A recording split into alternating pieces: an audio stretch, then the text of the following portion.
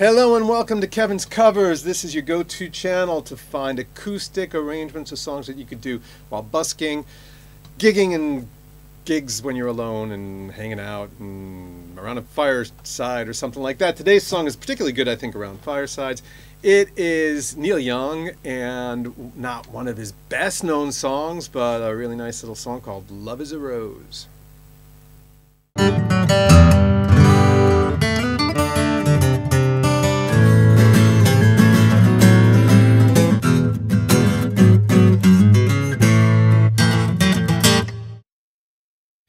So this is a very straightforward song, very, very easy to do.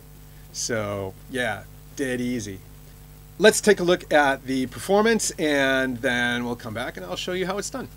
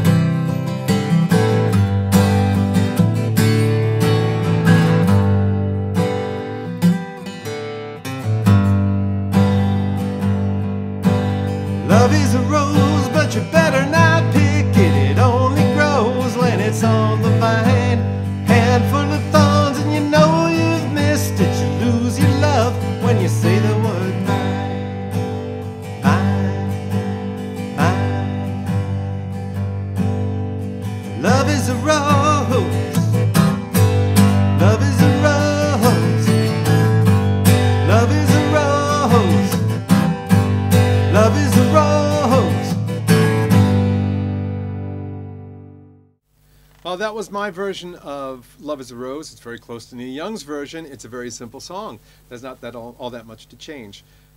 Three chords, G, C, D, the three most common chords in American folk music.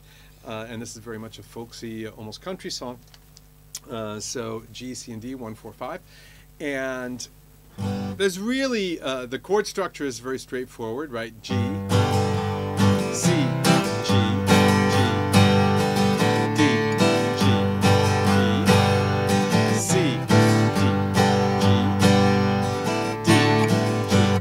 That's it. And then on the chorus, C, G, D, G, C, G, D, G. Only two things to keep uh, that are that are a little bit uh, tricky is that little riff where he sings uh, like it goes like this, right? So take the best right now. So all we're doing there is we're sliding from this F, so fourth string, third fret up to the G, right? Fourth string, fifth fret, and then back down down to the D, open D, then pulling off on the C, fifth string, third fret to the open, and then hit that G. Okay, that's all. The other thing is the actual strumming pattern. If you're used to very simple strumming patterns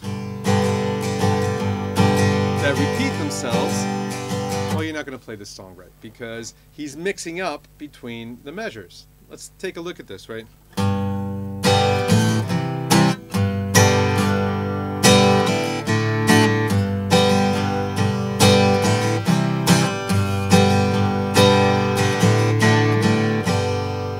So if you count that out, it's going one and two and three and four and one and two and three and four and one and two and three and four and one and two and three and four. So you see we're mixing between the two, right? And likewise in the chorus.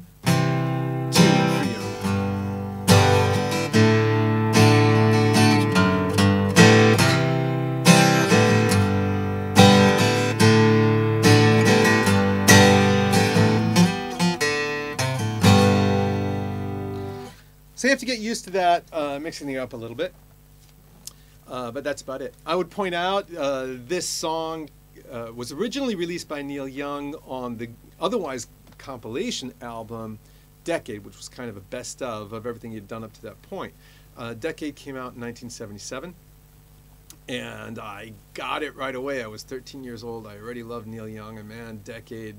Uh, I only, I think I only had Harvest at the time. I saved up my money buy uh, albums from time to time, but I didn't have a lot. So Decade was just fantastic, and um, that song came out. In, and furthermore, Decade was a triple album, right? So yeah, it was one of the few triple albums.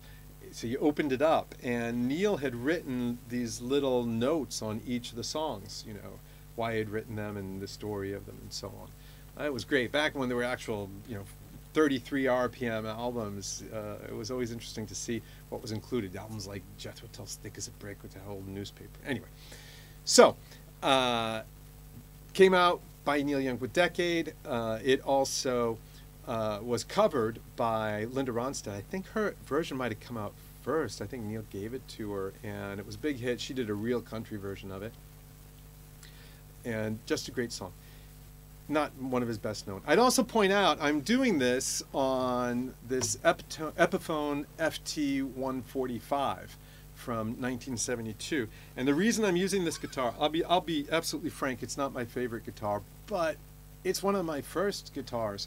I got it, I think, in um, 1973.